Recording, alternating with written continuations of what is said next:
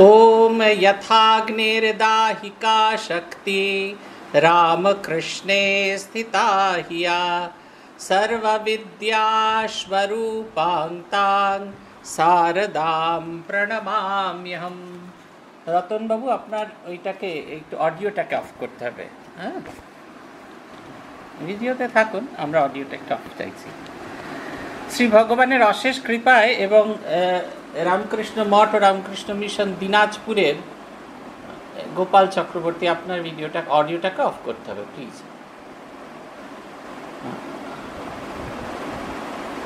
গোপালবাবু, অডিওটা অফ করতে হবে।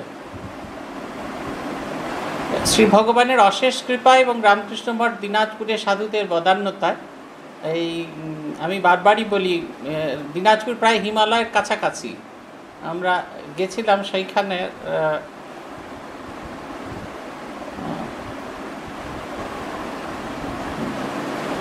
গোপালবাবু একটু হ্যাঁ ভেরি গুড থ্যাংক ইউ হ্যাঁ। আর দিনাজপুরের দিনাজপুর সেই আমরা বালুরঘাট গিয়েছিলাম, হিলি বর্ডার গিয়ে দেখলাম যে ওপারে, এপারে ট্রেন লাইনের এপারে হচ্ছে ভারতবর্ষ, ওপারে হচ্ছে নাকি দিনাজপুর। সেই দূর থেকে দেখা, আমি দূর হতে তোমার এই দেখেছি, মুগ্ধ হয়ে চোখে ছেয়ে দেখেছি। সেইখান থেকে আর আমরা এই সাগরের এই নোনা জলের, নোনা বালির মধ্যে বসে আছি। সেই সংযোগ স্থাপন করে দিয়েছেন আপনারা। আপনাদের অনেক কৃতজ্ঞতা। আমাদের সংযোগের সেতু হয়েছেন শ্রীরামকৃষ্ণ। স্বামী ব্রহ্মানন্দজি মহারাজ বলেছিলেন, এই মর্ত স্বর্গ আর মর্তলোকের ভেতরে শ্রীরামকৃষ্ণ সেতু বন্ধন করে দিয়েছেন। যাতে মর্তের লোকেরা খুব সহজে স্বর্গীয় অনুভূতি এবং স্বর্গীয় ভাবনার সাথে মিলিত হয়। বিগত দিন আমরা পড়েছিলাম আমরা পড়ছি স্বামী বিশুদ্ধানন্দজির বক্তৃতামালা, সৎ প্রসঙ্গ নিয়ে। যে অংশটা বিগত দিন আমরা পড়েছিলাম, সেটা হচ্ছে তিনি চৌঠা এপ্রিল উনিশশো চুয়ান্ন সালে শ্রীরামকৃষ্ণ আশ্রম মালদাহতে দিয়েছিলেন। চারটি বিষয়ে আলোচনা হয়েছিল। ঠাকুরকে প্রশ্ন করা, মাস্টারমশাইয়ের চারটে প্রশ্ন, কীরূপে ঈশ্বরে মন হয়, কীভাবে সংসারে থাকতে হয়, ঈশ্বরকে কি দর্শন করা যায়, আর মনের কোন অবস্থায় ঈশ্বর দর্শন হয়। এই চারটি আমাদেরও সকলেরই প্রশ্ন। হ্যাঁ এই প্রশ্নের জন্যই আমরা এই যে ঘুরে ঘুরে মরি তাই, মিছিমিছি ডরি তাই, কানামাছি ভোগ, এই চারটে আমাদের একটাই প্রশ্ন যে আমরা কেমন করে তাকে পাবো? আদৌ কি তাকে দেখা যায় না সবটাই ভুয়ো, সবটাই কল্পনা? এইটা হচ্ছে আমাদের ভাবনা চিন্তার জগতে এসেছে। কিন্তু ঠাকুর একবারে ধরে ধরে ধরে ধরে বলেছেন। দেখবেন মাস্টারমশাই এসেও আমাদের ইয়ে যখন এলেন, আমাদের নরেন দত্ত যখন এলেন, তখনও তিনি কিন্তু ঠাকুরকে একই কথা বলেছিলেন যে, আপনি কি ঈশ্বর দর্শন করেছেন? আর ঠাকুর বলেছিলেন হ্যাঁ আমি তাকে দেখেছি, তাকে তোকেও দেখাতে পারি এবং তোর চেয়েও স্পষ্ট দেখেছি। দেখবেন, বিবেকানন্দ এবং শ্রীরামকৃষ্ণদেবের কথোপকথনের মধ্যে আমরা কোথাও খুঁজে পাই না ঠাকুর বলছেন, এই দেখ নরেন, এইটি এইটি ভগবান, ওই দেখ নরেন, ওইটি ভগবান, এরকম নয়। ঘটিটা, বাটিটা, ব্রহ্ম, এরকম অনেক কিছু আমরা দেখেছি। কিন্তু স্বামী বিবেকানন্দ এই বোধটা পরবর্তীকালে অনেক পরে সেটা অনুভব করলেন। সেটা যখন তিনি ভারত পরিক্রমা করতে গেলেন, উত্তর থেকে দক্ষিণ, পূর্ব থেকে পশ্চিম, সেইখানে গিয়ে অনুভব করলেন। শ্রীরামকৃষ্ণ বলেছেন কি হ্যাঁ তাকে চোখে দেখা যায়। তিনি দেখলেন প্রতি মানুষের মধ্যে জীবন্ত, জাগ্রত দেবতাকে দর্শন করা যায়। এই এক নম্বর। দু নম্বর তিনি দেখলেন, ঠাকুর বলেছিলেন, তোর চেয়েও স্পষ্ট দেখেছি। আমরা সামনের মানুষকে ঠিক যতটা স্পষ্ট দেখি, ততটাই আমাদের সামনের ঈশ্বরকে সেই মানুষের ভেতরে স্পষ্ট দৃশ্যমান দেখা যায়। সেই এক টানা তিনি ক্লাস নিয়ে চলেছেন, অথচ কেউ তাকে খাবার কিছু দেয় না। একজন সেই ভাঙ্গি তিনি এলেন, তিনি একজন সেই কচুরি তরকারি নিয়ে এলেন, আর তাকে খেতে দিলেন। এই যে স্পষ্ট দেখলেন যে সব কিছুর ভেতরে তিনি বিরাজ করছেন, আর তিন হচ্ছে যে অন্যকেও দেখানো যায়। তা আমার এই অনুভূতি, এই ঈশ্বর ভাবনা অন্যের ভেতরেও সঞ্চারিত করা যায়। ঠিক এই কথাগুলোই মাস্টারমশাইকে অন্যভাবে তিনি বলেছিলেন। আজকে আমরা পঞ্চম অধ্যায় পড়ব, একই জায়গায় তিনি বক্তৃতা দিয়েছেন, শ্রীরামকৃষ্ণ আশ্রম মালদাও। এর তারিখটা ছিল নয়ই এপ্রিল উনিশশো চুয়ান্ন সালে। ইয়া প্রীতির অবিবেকানাম বিষয়ে স্বনপায়নী त्वामनुस्मरत् सा मे हृदयान् माम पा पर्सन् माम अपसर्पन्तु একটু বিষ্ণু পিরান পুরাণ প্রথম অধ্যায় বিশতম অধ্যায়ের উনিশতম শ্লোকে আছে বাংলায় আছে ইন্দ্রিয় ভোগ্য বিষয়ে অবিবেকী জনের যেরূপ প্রগাঢ় প্রীতি তোমাকে স্মরণকারী আমার হৃদয় হতে সেরূপ প্রীতি যেন কখনো অন্তর্হিত না হয় ইয়া প্রীতির অবিবেকানাম এই অবিবেকী জন যারা সবসময় বিষয় তৃষ্ণার মধ্যে মনে, মজে আছে। এই বিষয়ের প্রতি তার যে প্রগাঢ় ভালোবাসা, ঠিক সেই রকম ত্বাম অনুস্মরত, ঠিক সেই রকম তোমাকে স্মরণ করে, সেই তোমাকে স্মরণ করার যে ভালোবাসা, যেমন বিষয়, বিষয়ের প্রতি ভালোবাসা, ঠিক তোমার প্রতি আমার এই ভালোবাসা, বিষয়, বিষয়ের প্রতি ভালোবাসা যেমন কখনো অপসৃত হয় না ঠিক সেরকমভাবেই তোমার প্রতি আমার ভালোবাসা যেন কখনো আমার হৃদয় থেকে অপসৃত না হয়। এটা আমাদের সকলের প্রার্থনা। ভগবানের কাছে আমরা সব সময় প্রার্থনা করি যে কখনো কোনো অবস্থাতে যেন তোমাকে ভুলে না থাকতে পারি। কিন্তু এটা তখনই খুব স্থায়ীভাবে আমাদের হৃদয়ে জাগে যে সময় আমরা ভগবানকে ঠিক ঠিক চাই। আমরা বুঝতে পারি তিনি ছাড়া আর আমার কেউ নেই। আমাদের সমস্যা হয়ে যায় আমাদের জগৎ সংসারে সবাইকে আমাদের আপন বলে বোধ হয়। শুধু ঈশ্বরকে। রবি ঠাকুরের হয়েছে, তিনি বলছেন না, তুমি মোর আনন্দ হয়েছিলে আমার খেলায়। আনন্দে তাই ভুলেছিনি কেটেছে দিন হেলায়। গোপন রহি গভীর প্রাণে, আমার দুঃখ সুখের গানে সুর দিয়েছ তুমি। আমি তোমার গান তো গাইনি, আমার হিয়ার মাঝে লুকিয়েছিলে, দেখতে আমি পাইনি। বাহির পানে চোখ মেলেছি, হিয়ার পানে চাইনি তুমি আমার ভেতরে বসেছিলে, তুমি আমাকে সর্বাবস্থায় ভালোবেসেছ। একবার দেখেছিলাম একটি দাঁতের ডাক্তারের চেম্বারে গিয়ে দেখেছেন। ভারী সুন্দর একটা ছবি। দুটি দুটি করে পা পাশাপাশি সমুদ্রের তার, ধার দিয়ে যাচ্ছে, দুটি দুটি করে পাওয়া যাচ্ছে। একটা জায়গায় শুধু একটি একটি করে পাওয়া যাচ্ছে। ঈশ্বর বলছেন, দেখো, এইটি একটি, তুমি একটি আমি। বলছেন, তাহলে ওই যে যেখানটা একটা একটা করে পাওয়া যাচ্ছে, বলছে ওই সময় তোমার জীবনের সবচেয়ে কঠিনতম পর্যায়ে চলছিল। ভক্ত জিজ্ঞাসা করছেন, প্রভু, তাহলে কি সেই সময় তুমি আমার সঙ্গে ছিলে না? যে হ্যাঁ ছিলুম। তাহলে একটা পা কেন? বলছে, তোমাকে আমি আমার কোলের মধ্যে করে রেখেছিলাম। সেই কারণে আমার পাটা মাটিতে ছিলে, তুমি আমার ক্রোড়ে ছিলে। ঈশ্বর আমাদের সর্বাবস্থায় আমাদের ক্রোড়ের মধ্যে থাকে।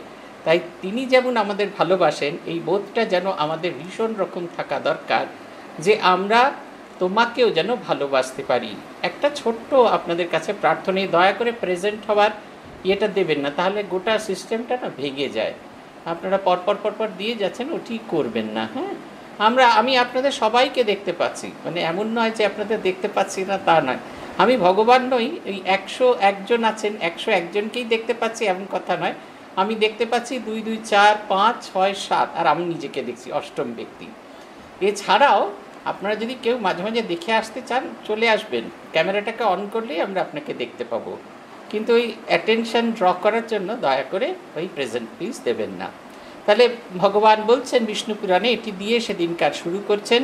ইন্দ্রিয় ভোগ্য বিষয় অবিবেকী জনের যেরূপ প্রগাঢ় ভক্তি, তোমাকে স্মরণকারী আমার হৃদয় হতে সেরূপ প্রীতি যেন কখনো অন্তর্হিত না হয়। আমি তোমাকে যেন কখনো কোনো অবস্থাতে যেন না ভুলি এই আকুতিটা যেন আমাদের সব সময় থাকে। তিনি তো আমায় ভালোবাসেন, কিন্তু আমি তুমি যে আমার সঙ্গে আছো এই বোধটা থেকে আমি কখনো বিচ্যুত হতে চাই না। মহারাজ বলছেন, প্রহ্লাদের এই উক্তি বিষ্ণু পুরাণে রয়েছে। স্বামীজি তার ভক্তি রহস্য গ্রন্থে লিখেছেন, প্রহ্লাদের এই উক্তি ভক্তির সর্বোৎকৃষ্ট সংজ্ঞা। ইন্দ্রিয় ভোগ্য বিষয়ে প্রাকৃতজনের যে রূপ গভীর প্রীতীয় আসক্তি দেখা যায়, সেই রূপ গভীর প্রীতীয় আসক্তি শ্রী ভগবানের পাদপদ্মে প্রদত্ত হলে তাকে ভক্তি আখ্যা দেওয়া যায়। একটা ভারী সুন্দর ঘটনা আছে ভাগবতে, এইখানে এই প্রহ্লাদ কাহিনীতেই আছে। যখন হিরণ্যকশিপুকে বধ করলেন, নৃসিংহ অবতার, তিনি তখন ক্ষিপ্ত, একবারে ভীষণ রকমের ক্ষিপ্ত। তথা কেউ তার কাছে যেতে পারছে না, তার সেই ভীষণ চেহারা। অর্ধেকটা মানুষ অর্ধেকটা তিনি নরসিংহ রূপ ধারণ করেছেন, সিংহ রূপ ধারণ করে আছেন। অবশেষে প্রহ্লাদ তার কাছে গেলেন এবং তার বন্দনা করতে থাকলেন। তখন তিনি খুব খুশি হলেন তখনও তো সিংহ অসুর হয়ে আছেন? তিনি আস্তে আস্তে প্রহ্লাদকে চাটতে শুরু করলেন। তার ভালোবাসার প্রকাশ, কুকুর বেড়াল যেরকম আমাদের ভালোবাসার প্রকাশ দেয় চেটে চেটে, ঠিক সেই রকম তিনি ওরকম চাটতে শুরু করলেন। প্রহ্লাদকে জিজ্ঞাসা করলেন, তোমার প্রতি আমি ভীষণ খুশি। তুমি কিছু বর চাও? বলছি, প্রহ্লাদ বলছে, আমি তো বর চাইব না। কেন বর চাইব? আমি তো তোমাকে ভালোবাসি, তোমার সঙ্গে তো ব্যবসাদারি করি না। এইটা একটা খুব বড় কথা। ভগবানের সঙ্গে যেন আমাদের ব্যবসাদারির সম্পর্কটা না হয়। আমরা প্রার্থনা করব আমার মেয়েটার জন্য বাল্টিমোরে বিয়ে হয়, ছেলেটার যেন কগনিজেন্টে চাকরি হয়। কিন্তু না পেলে তার ওই প্যাঁড়া যে কমিয়ে, সেও কমিয়ে দিতে পারি। প্যাঁড়া ট্যাড়া থেকে আমরা চিনির মণ্ডয়ে তার খাবারটা রূপান্তরিত করতে পারি। কিন্তু মনের যে ভালোবাসা, যেটা দিয়ে আমরা একে অপরকে বেঁধে রেখেছি, সেই বন্ধনটা যেন কোনো অবস্থাতে যেন সামান্যতম দুর্বল না হয়। এটা হচ্ছে কথা। এই দুর্বলতা না হওয়া, নিরলস এই ভালোবাসা আমি নিশিদিনও তোমায় ভালোবাসি, তুমি অবসর মতো বাসিও। এই ভাবটা যখন একজন প্রভুর প্রতি দেন, তখন সেটাকে বলা হয় ভক্তি। স্বামী ঠাকুরের কথায় গৃহী এই বিষয়ের বিষয়ের প্রতি টান, সন্তানের মায়ের প্রতি মায়ের সন্তানের প্রতি টান, আর সতীর পতির ওপর টানে। তিন টান একত্র। খানিকটা সেই আগেকার দিনে এখন পাওয়া যায় কিনা জানি না, আমরা ছেলেবেলায় দেখেছি। সেই কাঁচের বলে অনেক রকমের আইসক্রিম কিউবস থাকতো। তার উপর খানিকটা চকলেট দেওয়া হতো, তার উপর খানিকটা বাদাম টাদাম দিয়ে সেই দিয়ে খাওয়া হতো। তারপরে শেষকালে যখন গলে যেত, তখন সে তার একটা কি অদ্ভুত রূপ হতো। ঠিক ওই রকম এটা যেন একটা বল, ঈশ্বরকে ভালোবাসাটা যেন একটা বল। তার মধ্যে বিষয়ের বিষয়ের প্রতি টানের ভালোবাসাটুকু থাকবে তারপরে মায়ের সন্তানের প্রতি টান, আর আমাদের যে পতির সতীর পতির প্রতি টানে তিনটে যেন এক জায়গায় করে, তার উপর আমার ভালোবাসা ওই কাজুর মতো, তার উপর যেন চকলেট সস দিয়ে ওই যে সলিউশনটা তৈরি হবে, ওই উপাদেয় জিনিসটা তৈরি হবে, সেইটা হচ্ছে ভগবানের প্রতি আমাদের ভালোবাসা। ভগবান গীতামুখে বলছেন, মহারাজ বলছেন পুরুষ পর পার্থ ভক্ত লভ্যাস্ত্বনন্বয়া স্থানি ভূতানি ইয়ে না সর্বমিদম তত। এটি অষ্টম অধ্যায়ের বাইশ নম্বর শ্লোক। সেখানে ভগবান বলছেন, শ্লোকটির ভাবার্থ এই, একমাত্র ভক্তির দ্বারা, বলছেন, একমাত্র ভক্তির দ্বারাই ভগবানকে লাভ করা যায়। এখানে অর্জুনকে অনন্যা ভক্তির কথা বলছেন। একটি সহজ পথ দেখিয়ে দিয়েছেন তাকে লাভ করার। সেটি হলো ভালো ভক্তি, ভালোবাসার পথ। বলছেন, যিনি সমস্ত জগৎ পরিব্যাপ্ত করে আছেন এবং যার মধ্যে সর্বজীব রয়েছেন, সেই পরম পুরুষকে একমাত্র অনন্যা ভক্তি দিয়ে লাভ করা যায়। এইরূপ ভক্তি সাণ্ডিল্য এবং নারদ উপদেশ করেছেন। গীতার তিন চারটি শ্লোকে এই অনন্য শব্দটি ব্যবহার করা হয়েছে। বিশেষ রকমের একটা স্পেশাল ভালোবাসা। এইটা হচ্ছে কথা। এই ভালোবাসাটিকে আমাদের বুঝতে হবে। আমরা যদি না বুঝতে পারি, তাহলে কিন্তু ভীষণ সমস্যা। এই এইটা কিন্তু আমাদের বুঝতেই হবে। এটা যদি না বুঝি, আমাদের চলবে না। সমস্ত মন প্রাণ দিয়ে। খুব সহজে শ্রীরামকৃষ্ণ একটা শ্রীরামকৃষ্ণদেবের কথম কথাবৃতে এর একটা, বা জীবনীতেও এটা আপনি পাবেন। এই ঘটনাটি বর্ণনা করা আছে। একজন এসে বলেছিলেন, তার ঈশ্বরের প্রতি ভালোবাসা জাগে না। দেখা গেল, ভালোবাসাটা কীরকম? না, তার যে ওই ছোট নাতি আছে, তার প্রতি ভালোবাসা জাগে। সেই ভালো, সেই নাতিকেই যদি ঈশ্বর জ্ঞান করে কেউ পুজো করতে পারে, তাহলে তার ভেতরে অবশ্যই ভগবানের ভালোবাসার প্রকাশ হবে, এটা আমাদের কিন্তু বোঝা দরকার। তিনি সর্বত্র ব্যপ্ত হয়ে আছেন, তিনি কেবলমাত্র আমার ওই যে সিংহাসনের কুলুঙ্গির মধ্যে বসে আছেন তা কিন্তু নয়। গীতার পঞ্চম অধ্যায়ের অন্তিম শ্লোকে ভগবান বলছেন, সেই মানুষই পরম শান্তি লাভ করতে পারেন যে আমাকে দুভাবে দেখেন দুভাবে দেখাটা কীরকম? একরকম হচ্ছে যে এই জগৎ সংসারের সর্বলোক ও মহেশ্বর, এই জগৎ সংসারের যা কিছু দৃশ্যমান সব কিছুর কল্যাণ বিধানকর্তা হলাম আমি।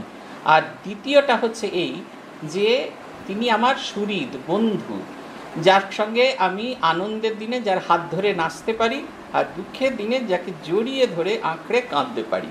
এই এতটাই গভীরতা তিনি কথা বলছেন। ভগবানের সঙ্গে আমাদের এই রকম সহজ সম্পর্কটা থাকা দরকার। এবং তিনি সব কিছুর মধ্যে অনুসূত হয়ে আছেন। দেখবেন হিরণ্যকশিপু জিজ্ঞাসা করলেন প্রহ্লাদকে, কোথায়? তোমার ভগবান কোথায়? তিনি কি এই যে এইখানে আছেন, ওখানে আছেন? জিজ্ঞেস করে বলছেন, সেই ফাঁকা যে ইয়েটা, স্তম্ভ, বলছেন স্তম্ভের ভেতরে আছেন? বলছেন হ্যাঁ তিনি ওখানেই আছেন, ভগবান বিষ্ণু ওখানেই আছেন। সেই অবিবেকী তিনি সেটার মধ্যে ধাক্কা মারলেন আর সেই স্তম্ভ ভেঙে তার ভেতরে হিরণ্যকশিপুকে বধ করার জন্য নরসিংহ অবতার রূপী সেই ভগবান বিষ্ণু প্রকাশিত হলেন। তিনি সর্বত্র। এইটি বোঝা আমাদের ভীষণ জরুরি এবং এটা যত আমরা বুঝতে পারব, দেখবেন তত আমাদের নিজেদের ভেতরে পরিবর্তন আসবে, তত তার প্রতি একটা অদ্ভুত ভালোবাসা আসবে। কাকে ঘৃণা করব, কার সমালোচনা করব? তিনি যে সব কিছুর মধ্যে বিরাজ করছেন, দেখবেন তার প্রতি একটা অদ্ভুত ভক্তি আসবে। আমার অন্য কিছু চাই না, আমি তোমাকেই চাই। আমাদের এই যে রামকৃষ্ণ মিশনের দীক্ষা হয় না, আমাদের গুরুরা বড্ড ভালো, আমাদের ভীষণ ভালোবাসেন। ভারী সুন্দর একটা কথা বলেন দীক্ষার সময়। যখন অন্য মন্দিরে যাবে, তখন মনে করবে, তোমার ইষ্টই ওই রূপ ধারণ করে তোমার পুজো গ্রহণ করার জন্য উপস্থিত হয়েছেন। দেখুন, এতে দুটো জিনিস হয়। নম্বর এক হচ্ছে, আমার ইষ্টের প্রতি যে নিষ্ঠা, যে ভালোবাসা সেটা এতটুকু কমে না। আর দুই হচ্ছে, সামনে যে উপাস্য বস্তু, তার প্রতি আমার সামান্যতম শ্রদ্ধাটুকু অশ্রদ্ধাটুকু আসে না। আমি তাকে আমার ইষ্টকে যেরকম ভালোবাসি, ঠিক সেই রকমভাবে ভালোবাসবো। আমার মনে আছে, ট্রেনিং সেন্টারে আসার পরে আমরা একটা প্রাইভেট ইন্টারভিউতে, আমি একটা প্রাইভেট ইন্টারভিউতে পূজনীয় ভূতেশানন্দজি মহাজের কাছে গেছিলাম আমার কিছু সমস্যা ছিল, তার সমাধান সূত্র উনি দিয়েছিলেন। কিন্তু আসার সময় একটা ভারী সুন্দর কথা বললেন, সেটা হলো এই, তুমি আমাকে কথা দাও। তখনও উনি সুস্থই আছেন। বললেন, তুমি আমাকে কথা দাও, আমার পরে যে এই জায়গায় আসবে, তাকে তুমি ঠিক আমার মতো করে ভালোবাসবে, আমার মতো করে শ্রদ্ধা করবে, আমার মতো করে ভক্তি করবে, জানবে, আমি তার ভেতরে বিরাজ করছি। তখন ঠিক খুব ক্যাজুয়ালি নিয়েছিলাম। কিন্তু এই যে সেই একই শক্তি পরম্পরায় বিরাজ করছেন, এই বোধটা তিনি আমাদের মধ্যে জাগিয়ে দিয়েছিলেন। আমরা গুরু পরম্পরায় বুঝতে পারি, ঠাকুরের শক্তি, ব্রহ্মানন্দজি, ব্রহ্মানন্দজির শক্তি, মহাপুরুষ, মহারাজ মহাপুরুষ মহারাজের সেই শক্তি অখণ্ডানন্দজি হয়ে স্মরণানন্দজিতে প্রবাহিত হচ্ছে। আগামী দিনে যারা এই গদিতে আসবেন, তারাও তাদের ভেতরে প্রবাহিত হচ্ছে। কিন্তু সেই একই ঈশ্বরীয় শক্তি, সেই একই ঈশ্বরীয় ভাব জগতে সবার মধ্যে প্রকাশিত হচ্ছে। আপনি জিজ্ঞেস করবেন, কই, আমি তো বুঝতে পারি না। শয়তানের ভেতরে ঈশ্বর আছে? অবশ্যই আছে। আমরা শুধু তার শয়তানকে দেখা মাত্র, তার নেগেটিভ দিকটা আমাদের কাছে এত প্রকট হয়, তার যে পজিটিভ তার একটা ইতিবাচকও ছবি আছে সেইটাকে আমরা কিছুতেই বুঝতে চাই না। বুঝতে চাই না বলেই সেই শয়তান আমাদের কাছে শয়তান হয়ে থাকে। মানুষ কি জন্ম থেকেই শয়তান হয়ে আসে? তা তো আসে না। তার ভেতরে সে তো শিশু এসছিল। কিন্তু পরিস্থিতি, পরিবেশ তাকে শয়তানে রূপান্তরিত করেছে। লার্ন টু লিভ বলে একটি গ্রন্থ আছে, সেইখানে অনেক সুন্দর সুন্দর গল্প আছে। জগদাত্মানন্দজি সেই একটি ঘটনা বলছেন, একটি আমেরিকান ছেলে মাত্র আট বছর বয়সে হাত পাকিয়ে ফেলেছে নানা রকম অপরাধ বিদ্যায় সে ধরা পড়ল তাকে জুবেনিয়াল হোম থেকে কারেকশনাল হোমে পাঠানো হলো। একটি খ্রিশ্চান চার্চ সেই কারেকশনাল হোমটা চালায়। ছেলেটি দু চার দিন শান্ত থাকার পরেই তার লীলা শুরু হয়ে গেল, একে মারে, তাকে মারে। একদিন যে ফাদার তাদের দেখাশোনা করতেন তাকে ধরেই পিটিয়ে দিল। তখন সেই ফাদার গিয়ে ফাদার সুপিরিয়ার কাছে বললেন যে, এই ছেলে যদি থাকে, আমি এই কাজটি দেখতে পারব না। ফাদার পরের দিন সেই ছেলেকে কফি অনুষ্ঠানে আমন্ত্রণ জানালেন।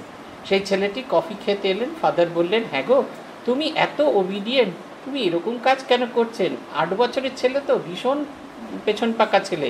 হা হা করে হাসছে আর বলছে, জীবনে অনেক মিথ্যে কথা শুনেছি, কিন্তু এইরকম মিথ্যে কথা আর দুটো শুনিনি। তখন ফাদার তাকে বললে না, সত্যি সত্যি তুমি ওবিডিয়েন্ট তুমি ছেলে থেকে ছেলেবেলা থেকে খারাপটা কি সেটাই জেনে এসেছ? তুমি ওবিডিয়েন্টলি সেটাকে ফলো করেছ, তাই আজ তুমি খারাপ। ছেলেবেলা থেকে তোমাকে যদি আমরা ভালোটা দেখাতে পারতাম, তাহলে তুমি ভালোটাই ফলো করতে, তাহলে তুমি ভালো হতে। ভালোই হও আর খারাপ হও, তোমার ভেতরে এই ওবিডিয়েন্ট গুণ, এইটি তোমার ভেতরে আছে, আনুগত্যতা, এইটা তোমার ভেতরে আছে। ছেলেটার ভেতরে একটা অদ্ভুত পরিবর্তন এলো, সে সেই ইয়েতে ফিরে গেল, তারপরে পড়াশোনা শুরু করল, পরে সেনাবাহিনীতে যোগ দিল এবং ভিক্টোরিয়া ক্রসও পেয়েছিল। আমার নামটা মনে নেই নামটা ইয়েতে দেওয়া আছে, বইটাতে আছে। লার্ন টু লিভ স্বামী জগদাত্মানন্দজির এই বইটার প্রথম খণ্ডে এই ঘটনাটার কথা বলা আছে। এই অনন্য ভক্তি, আমি আর অন্য কোনো দিকে মন দিচ্ছি না, শুধু ভগবানকেই মন দিচ্ছি। এবং তিনি সব কিছুর ভিতরে বিরাজ করছেন। আছো অনল অনিলে, চির নভ নিলে, ভূধর সলিলে গহনে, আছো বিটপিলতায় জলদের গায়ে, শশী তারকায় তপনে। আমি নয়নে বসন বাঁধিয়া মোরে বসে আধারে মরিগ কাঁদিয়া, আমি দেখি নাই, কিছু বুঝি নাই, কিছু দাও হে দেখায় বুঝায়।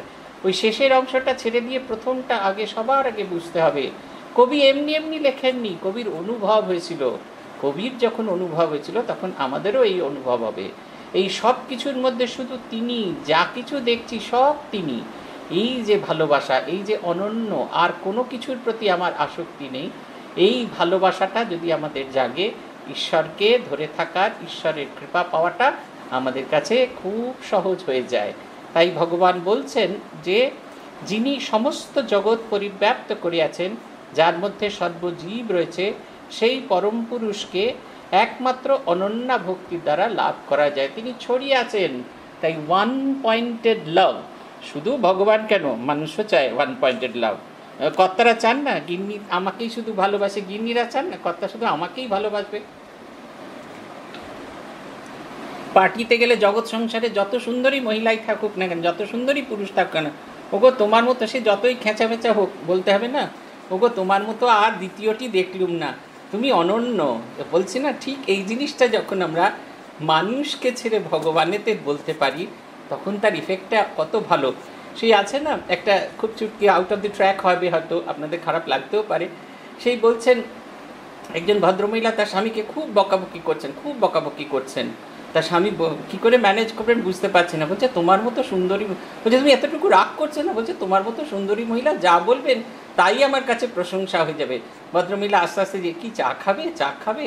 এই যে দেখুন, এই অ্যাডজাস্টমেন্ট ঠিক এই এফেক্টটা আমরা যখন ভগবানের প্রতি দিতে পারি সমস্ত মন প্রাণ উজাড় করে, প্রভু, তুমি ভিন্ন, আমার আর কোনো পথ নেই। নাথ, তুমি সর্বস্ব আমার। প্রাণারাম সারাত সার। নাহি তোমা বিনে, কেহ ত্রিভুবনে। বলিবার আপনার। তুমি ছাড়া আমার আর কেউ নেই। এই জগৎ সংসারে আমার কেউ নেই। এই যে অনন্য ভাবটি, এটি যখন হবে, তখন দেখবেন আপনি সর্বভূতে সেই প্রেমময়কে দর্শন করতে পারবেন। এবং সেই যে ভালোবাসা প্রকাশিত হবে, সেটা একটা অদ্ভুত ভালোবাসা। আমাদের ভালোবাসা কীরকম? আমার ছেলে পচা, সামনের ছেলেটা বান্টি। আমার দুজনকেই পুত্রবধ ভালোবাসি। কিন্তু পচার জন্মদিনে পায়েসে যে পরিমাণ কাজু কিশমিশ দিই, বান্টির জন্মদিনে পায়েস করে দিই, তাতে ততটা কাজু কিশমিশ দিই না। আমাদের যেন কোথায় একটা ফারাক? এই যে অন্তর, এটা যখন চলে যাবে, ঠিক মানুষেরটা, এটা যখন আমরা ঈশ্বরের প্রতি দেব, দেখবেন আমরা যেখানেই থাকি না কেন সর্বত্র তাকেই শুধু অনুভব করব। তাকেই শুধু অনুভব করব। পূজনীয় গম্ভীরানন্দজি মহারাজ অমরনাথ দর্শন করতে গেছেন পূজনীয় আত্মস্থানন্দজি তাকে সঙ্গে করে নিয়ে গেছেন আমি মহারাজের কাছে শুনেছি, পরে ওই যে ভিডিওটা হয়েছিল গম্ভীরানন্দজি মহারাজের বিষয়ে, সেখানেও এই ঘটনাটা আত্মস্থানজির কাছে শুনেছি গম্ভীরানন্দজি অমরনাথ দর্শন করে এসে একটা জায়গা চেয়ার দিয়ে মহারাজকে বসানো হয়েছে অমরনাথের সামনে মহারাজ তো চোখে সেভাবে দেখতে পান না তা ওই পাহাড়ের অমরনাথের ভস্য নিয়ে গম্ভীরানন্দজি কপালে লাগানোর পরে আত্মস্থানজি বলছেন, মহারাজ, অমরনাথের ভস্য আপনার কপালে লাগিয়ে দেওয়া হলো। গম্ভীর আনন্দজি বলছেন, সত্যকৃষ্ণ, আমি যে শুধু ঠাকুরকে দেখছি, আমি যে শুধু ঠাকুরকে দেখছি। দেখুন, অমরনাথ রূপান্তরিত হয়ে গেছেন শ্রীরামকৃষ্ণ। যেখানে যেখানে যেখানে যেখানে তার নেত্রস্ফুরে, সর্বত্র সেই ঈশ্বরকেই তিনি দর্শন করছেন। বলছেন আরেকটি শ্লোক, এই অষ্টম অধ্যায়েরই চোদ্দ নম্বর শ্লোক চতুর্দ শ্লোকে ভগবান বলছেন, অনন্য চেতা সততম ইো মাম স্মরতি নিত্যশ, তস্যাহম সুলভ পার্থ নিত্যযুক্তস্য যোগিন। অন্য কোনো দিকে মন না দিয়ে যেজন একমাত্র আমাকে অবলম্বন করে, স্মরণ করে, সেই নিত্যযুক্ত যোগীর কাছে আমি অনায়াস লব্ধ। সেইরূপ ভক্ত আমাকে সহজে লাভ করে, যেটা আমরা বলছিলাম যে আমরাও চাই যে আমাকে ছাড়া এই জগৎটা অচল। মায়েরা বলে না হ্যাঁ আমি ছিলুম বলে হয়ে গেল, আমি ছাড়া তো সংসারটা অচল। মা বুঝতে পারেন, অনুভব করেন, ওই বোধটা আমাদের যখন ভগবানকে, ভগবানের ওপর আসে, তিনি ছাড়া আমরা অচল, তিনি আমার আত্মস্বরূপ হয়ে আমার হৃদয়ে বসে আছেন। যে মুহূর্তে তিনি আমার মধ্যে থেকে বেরিয়ে আসবেন, আমার সঙ্গে ওই বাইরের যে পাপসটা আছে তার কিন্তু কোনো ফারাক নেই। আমার মনে আছে একজন খুব ভালো মানুষ আমাদের কাছে আসতেন। খুব সম্ভবত এলাহাবাদ ব্যাংক বা ওখানে কোথাও চাকরি করতেন। প্রত্যেক রবিবার এসে বেলুন মঠে যখন ছিলাম, তিনি আমাদের স্বেচ্ছাসেবা করতেন। তার ভাইপো বিয়ে থা করেনি, তার ভাইপো ভাইজিরা কাকা বলতে অজ্ঞান। আমি ভাবতাম, কি ভালোবাসা কি ভালোবাসা। তারপরে তিনি হঠাৎ করে একদিন স্ট্রিট অ্যাক্সিডেন্টে মারা গেলেন। শনিবার দিন মারা গেছেন, কোনোভাবে পোস্টমর্টম করা যাচ্ছে না। আমরা অনেক শক্তি প্রয়োগ করে আমাদের নানা সোর্স টোর্স দেখিয়ে রবিবার দিন তার পোস্টমর্টম করা হলো। শনিবার এগারোটার সময় মারা গেছে রবিবার এগারোটার সময় পোস্টমর্টম করালো দুপুর দুটো কি আড়াইটার সময় সেই প্যাক করা বডি তার বাড়িতে নিয়ে এসেছে। শুধু মুখটা খোলা হয়েছে, এত দুর্গন্ধ, যারা তার সেই ভীষণ আত্মীয় ছিলেন, যে ভাইপো ভাইজিরা কাকা বলতে অজ্ঞান ছিলেন, তারা আমাকে বলছেন, কখন যে বডিটা বার করে নিয়ে যাবে, বুঝতে পারছি না, দুর্গন্ধে আর টেকা যাচ্ছে না।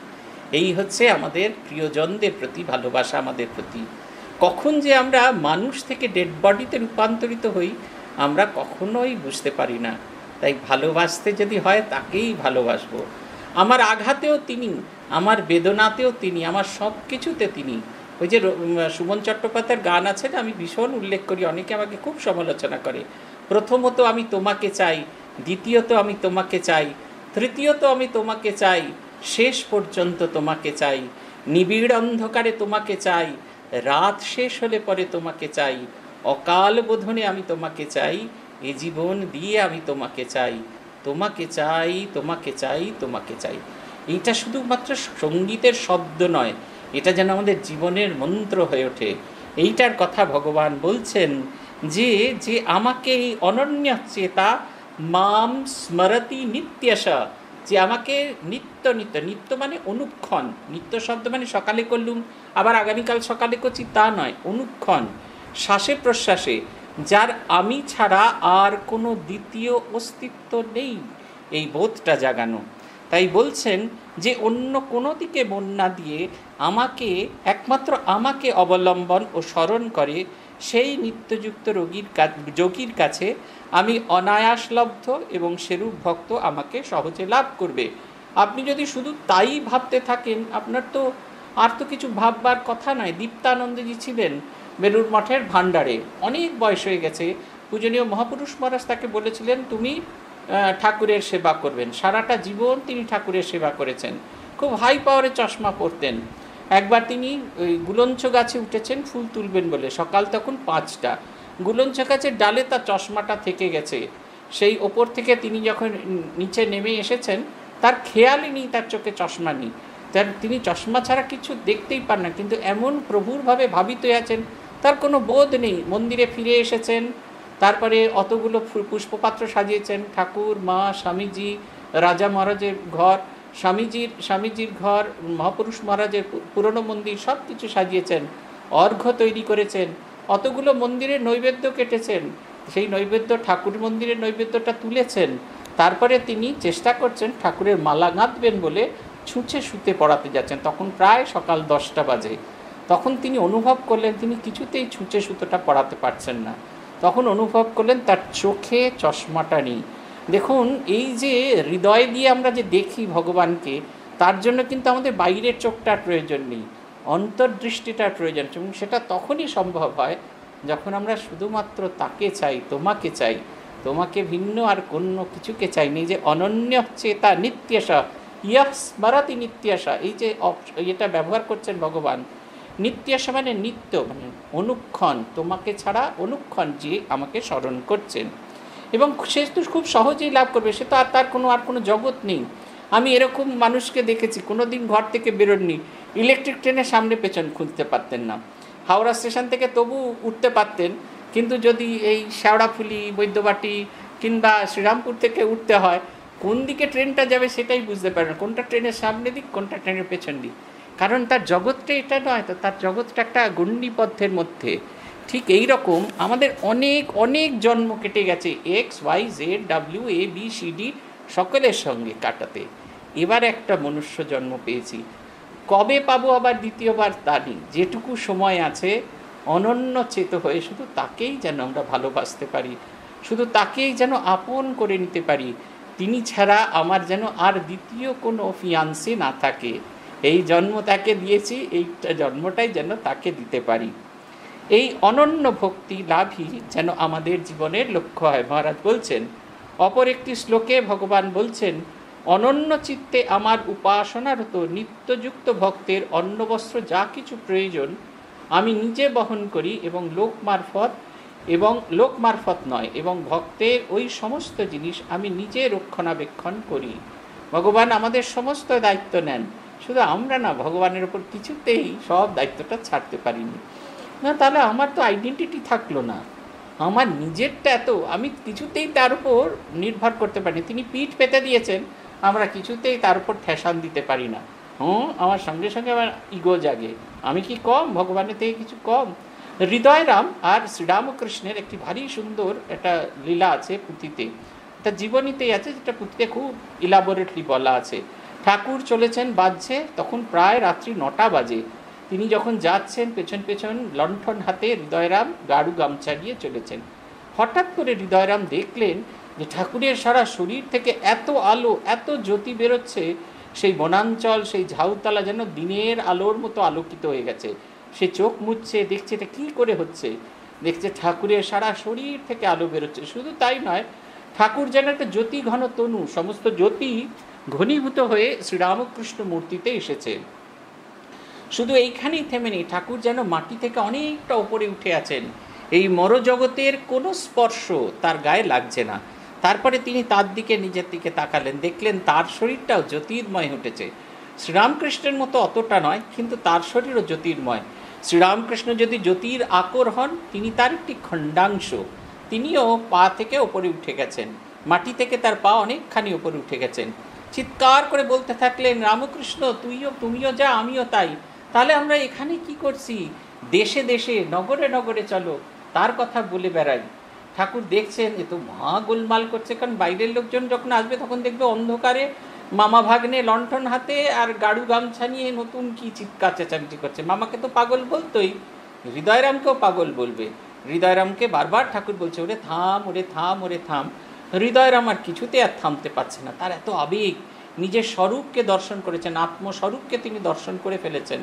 তিনি যেন নিজেকে কিছুতেই থামাতে পারছেন না, নিজেকে কিছুতেই শান্ত করতে পারছেন না। নির্মলবাবু যদি একটু হ্যাঁ ঠিক থ্যাংক ইউ এই নিজেকে কিছুতেই তিনি যেন থামাতে পাচ্ছেন না, তখন ঠাকুর তাকে স্পর্শ করে দিলেন যা তুই সব হয়ে থাক। তা সেই সমস্ত শক্তিকে কেড়ে নিলেন। সেই প্রচণ্ড আনন্দের ভাগিদার যখন হয়েছিলেন, তখন তিনি মনে করেছিলেন যে শ্রীরামকৃষ্ণ জ্যোতির্ময়, তিনি যেন তিনি উৎসস্থল, আর আমি তার খণ্ডাংশ। এবার যেই ঠাকুর তার মধ্যে থেকে শক্তিটা কেড়ে নিলে, তখন বললেন মামাও যা, আমিও তাই। মামা তো সাধন ভজন করেই শক্তি পেয়েছে, আমিও তো মামার ভাগ না আমিও সাধন ভজন করি শক্তি পাবো। পরের দিন থেকে তিনি সেই ঠাকুরের যে পঞ্চমুণ্ডির আসনে বসে সাধন ভজন করতে থাকলেন। পঞ্চমুণ্ডির আসনে বসা কি সাধারণ মানুষের কাজ নাকি? একদিন ঠাকুর শুনলেন যে হৃদয় চিৎকার করে চেঁচাচ্ছে আর বলছে, ও মামা গো, আমি পুড়ে গেলাম গো, জ্বলে মরে গেলুম গো, কে যেন আমার গায়ে অঙ্গার ফেলে দিয়েছে। ছুটতে ছুটতে ঠাকুর তার কাছে গেলেন। বললেন, দেখো, তোমারই আসনে বসেছিলুম, কে যেন মনে হলো একখণ্ড অঙ্গার আমার গায়ে ফেলে দিয়েছে, আমার সারা গা জ্বলে যাচ্ছে। ঠাকুর তার সমস্ত গায়ে, হাতে, পায়ে সর্বত্র হাত বুলাতে থাকলেন। তিনি ধীরে ধীরে শান্ত হয়ে যেতে থাকলেন। দেখুন, আমাদের এই বোধটা হয়, আমরা কখনো কখনো মনে করি তিনি সর্বস্ব, আমি তার অংশ, আমি তারই মধ্যে বিরাজ করছি। আবার কখনো কখনো মনে হয় তিনি আর আমি এক আসনে আছি। আমিও ক্ষমতা পেলে আমিও দেবতা হতে পারি। ওই তো একটা কাপড় পরা একটা লোক। আমরা অনেককে মন্দিরে দেখেছি।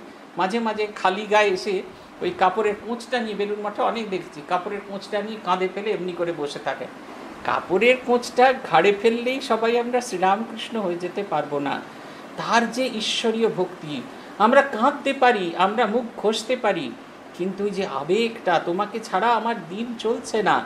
জগন্মাতাকে বলছেন যে, তুমি রামপ্রসাদকে দেখা দিয়েছ, তুমি কমলাকান্তকে দেখা দিয়েছ, তুমি আমাকে কেন দেখা দেবে না? এই বোধটা কি আমাদের ভেতরে জাগে? ওই বোধটা হচ্ছে অনন্য ভাব, তার প্রতি আমাদের অনন্য ভাব। এইটা যার হবে, তার সমস্ত কিছু ভগবান যোগান দেবেন। সেইরূপ ভক্ত যে সর্বক্ষণ শ্রী ভগবানের চিন্তা করছে, তার ষোলো আনা মনি ঈশ্বর চিন্তায় নিবিষ্ট। এইরূপ ভক্তির নাম অনন্যা ভক্তি যেটা আমরা বলছি, যে আমি তোমাকে ছাড়া আর কিচ্ছু চাই না। আমি আর কোনো কিছুর মধ্যে চাই না। মহারাজ বলছেন, ভাগবতে শ্রীকৃষ্ণ উদ্ধবকে মানব কল্যাণের জন্য অধিকারী বেদে শ্রেয় লাভের তিনটি পথ নির্দেশ করেছেন। কর্মযোগ, ভক্তিযোগ এবং জ্ঞানযোগ। অধিকারী ভেদ কেন? তা ঠাকুরের ছোট্ট কথা, তা ঠাকুর ছোট্ট কথায় বলেছেন।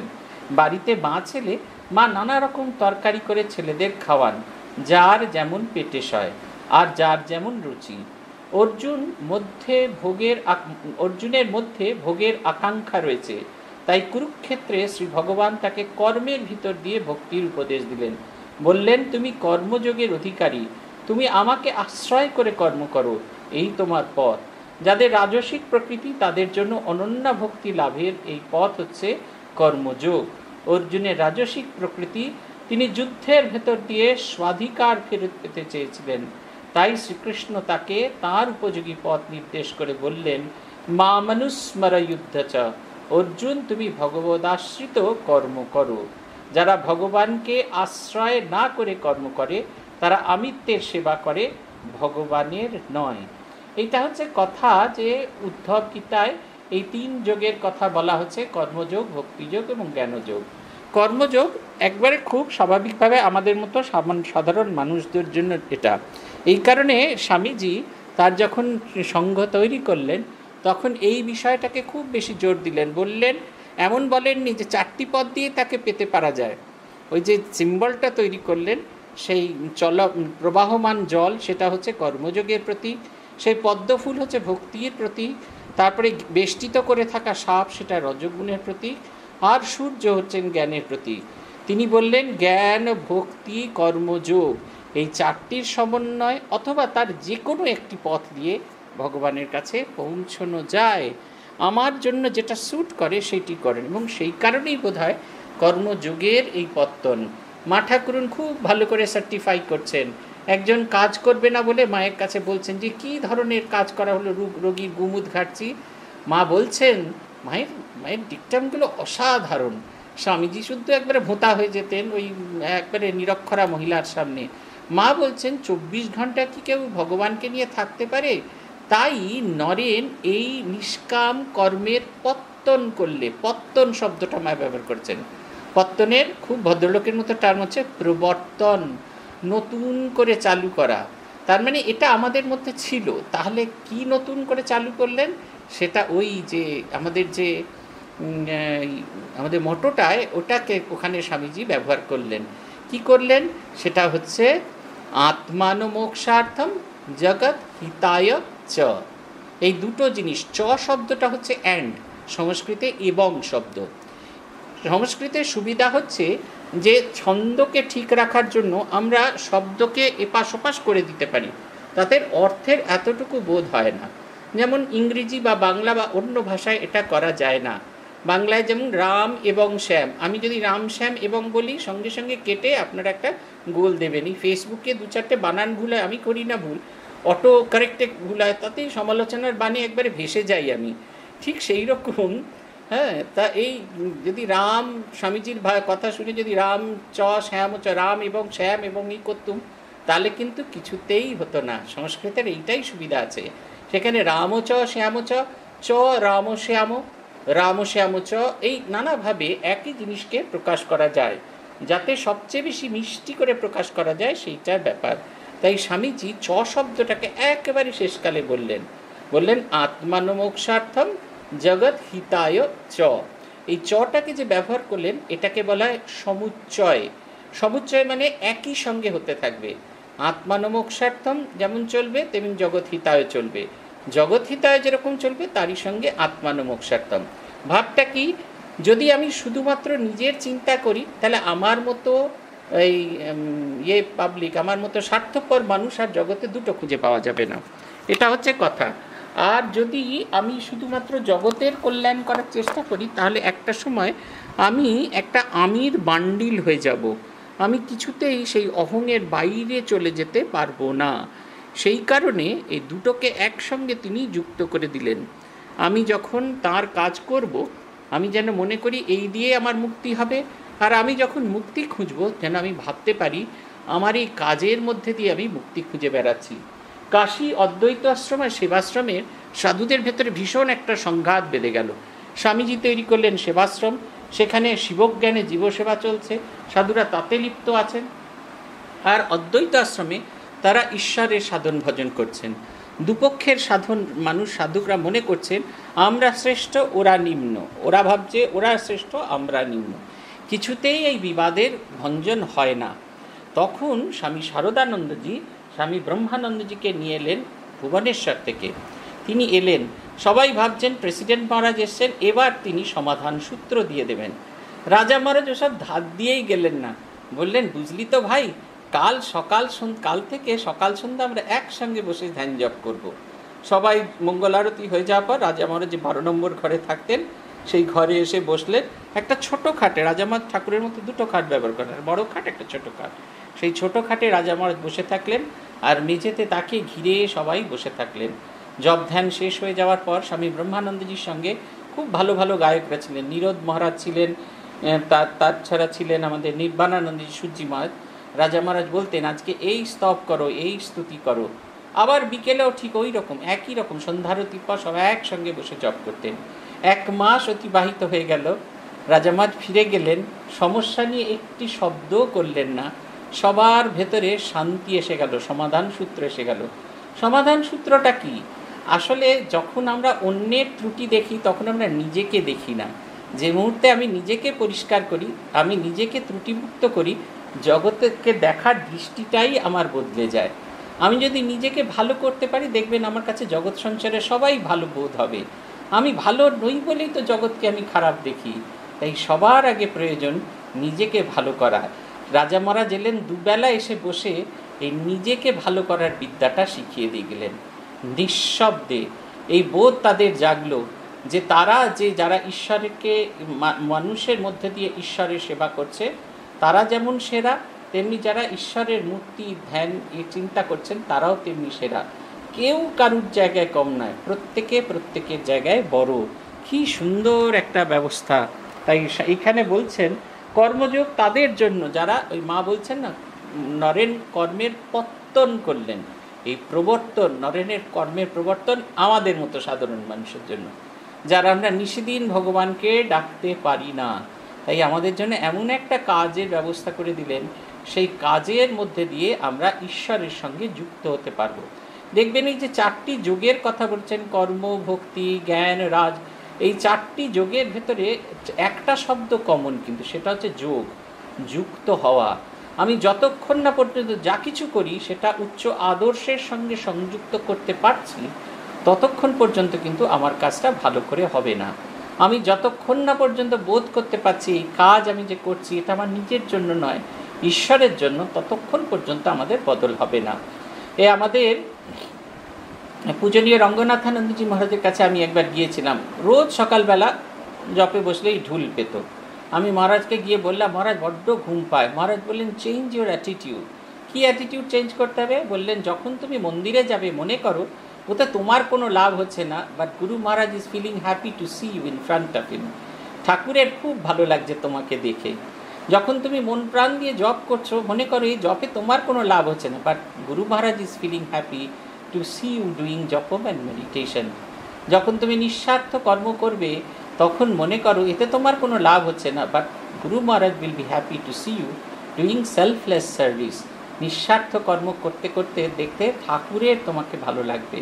এই ঠাকুরের প্রীতির জন্য, সমস্ত কাজ কাজ তার প্রীতি উৎপাদন করার জন্য।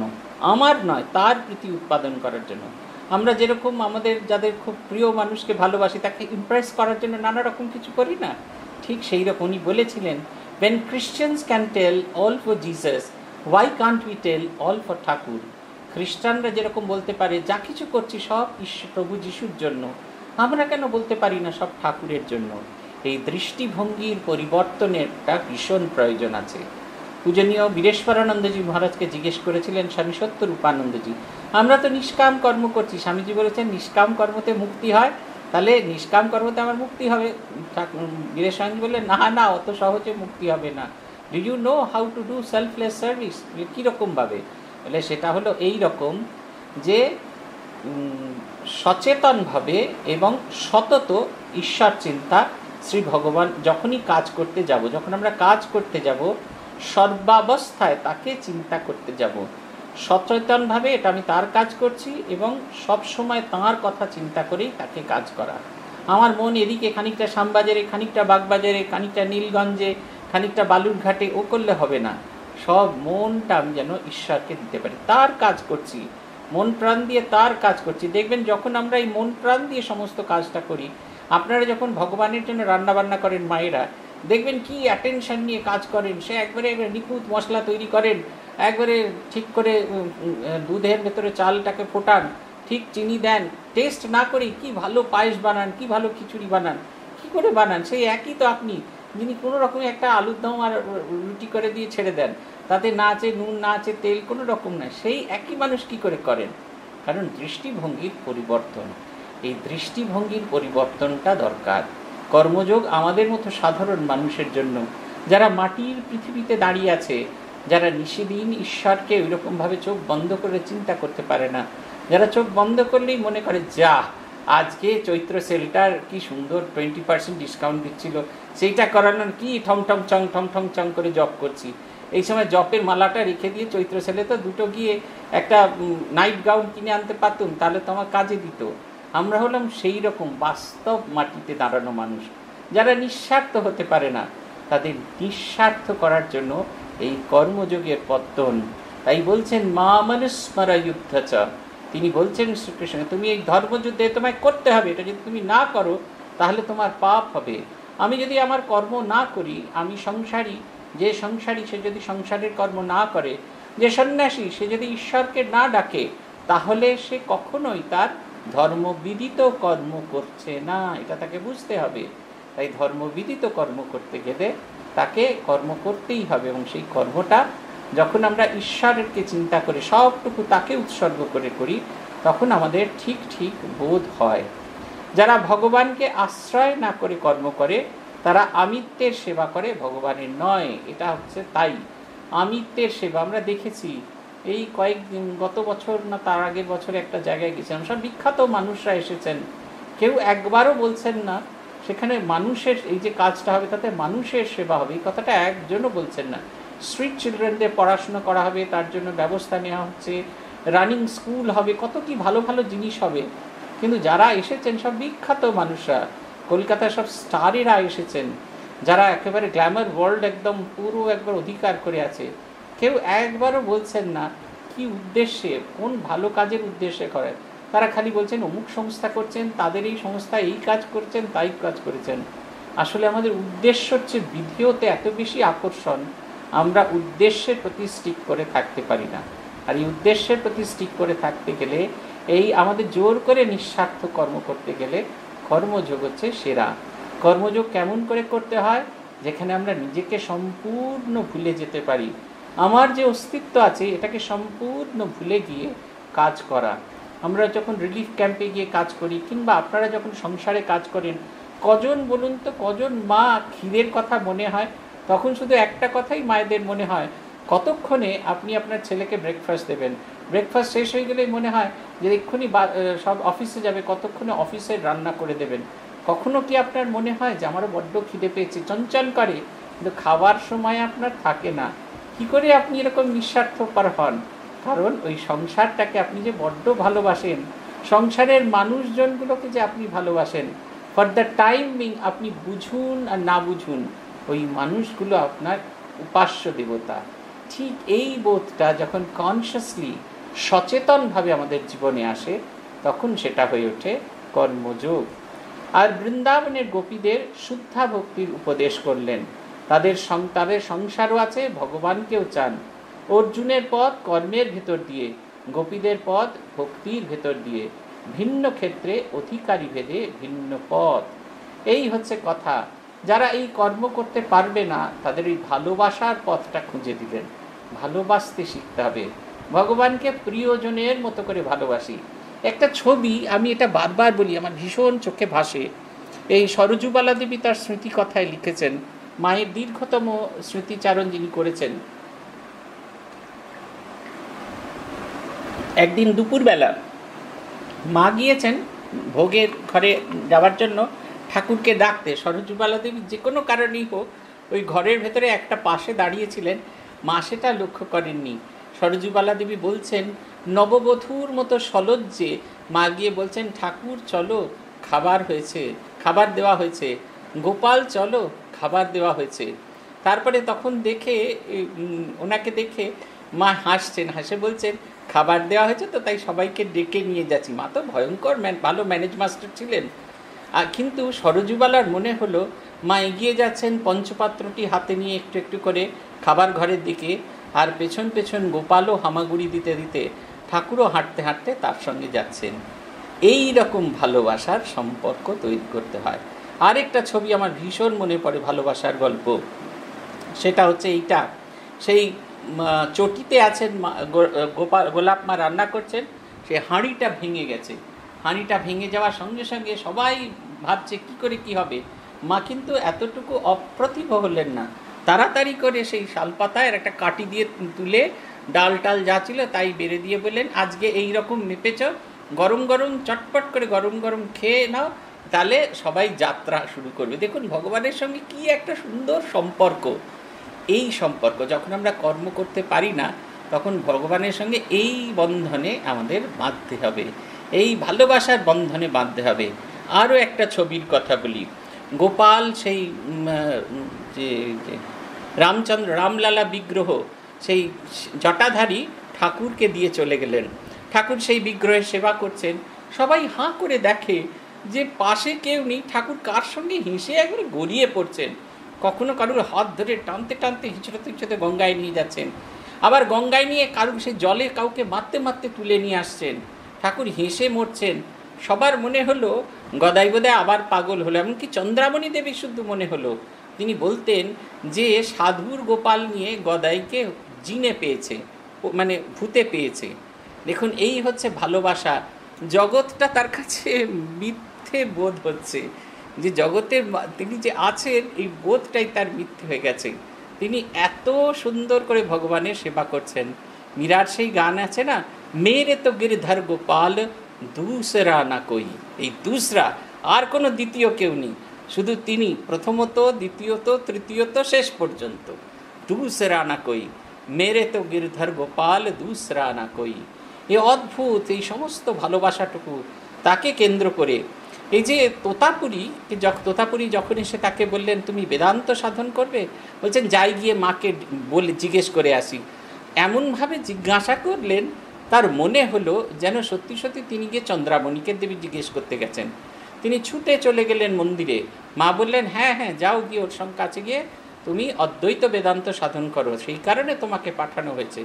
তিনি বললেন, মা বলেছেন যে অদ্বৈত বেদান্ত সাধন করা যাবে। দেখুন, এই যে, এই ভগবানের সঙ্গে এরকম সম্পর্ক, আমার মনে আছে, একজন সাধু, আমাদের একটি সেন্টারে তিনি তার অধ্যক্ষ মহারাজকে বলছিলেন যে একটু মায়ের বাড়ি থেকে ঘুরে আসব। তা অধ্যক্ষ মহারাজ ভাবলেন যে এই সুযোগে বোধ নিজের পূর্বাশ্রম ঘুরে আসতে চায়।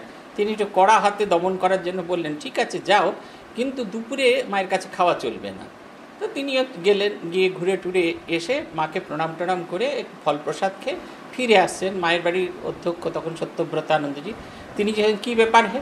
তুমি চলে যাচ্ছ এখন দুপুরে প্রসাদ পাওয়ার সময়? বলছেন, মহারাজ বলেছেন যে দুপুরে প্রসাদ পাওয়া যাবে না। হ্যাঁ ঠিক আছে। তিনি অসন্তোষ প্রকাশ করলেন চলে এলেন।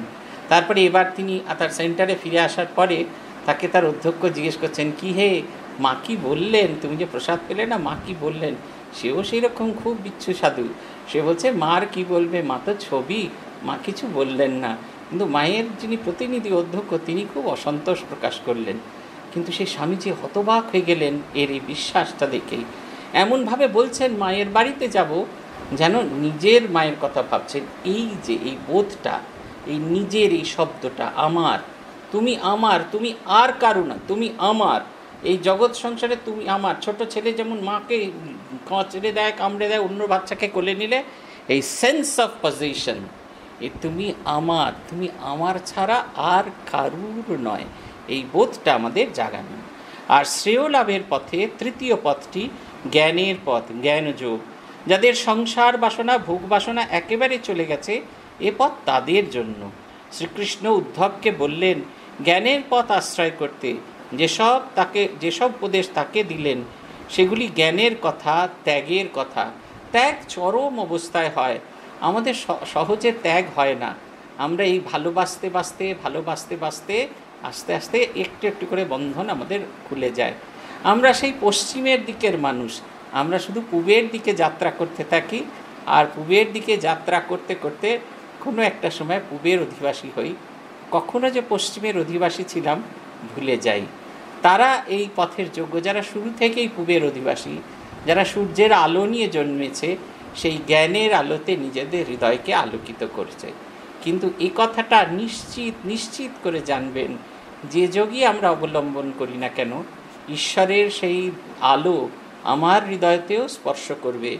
সে বলছেন না আদিত্য বর্ণং তমসঃ পরস্তাৎ, তমেব বিদিত্বা অতিমৃত্যুমেতি, নান্য পন্থা বিদ্যতে আয়নায়ু। তপন বরণ তিনি আধারের পারে যিনি, যাহারে জানিলে জীব মরণ এড়ায়। মৃত্যুকে আমরা এড়াতে পারি? তা নয়।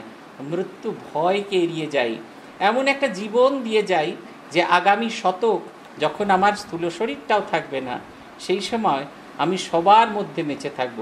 যখন বিদ্যাসাগর মশাই কত বছর আগে চলে গেছেন, কিন্তু আজও যখনই আমরা যখন শব্দ ভাষা শিখতে যাই অ শিখতে যাই, বিদ্যাসাগর মহাশয়কে ছাড়া আমাদের আর প্রয়োজন, আমরা আর অন্য কোনো জিনিস আর মনে পড়ে না আমাদের।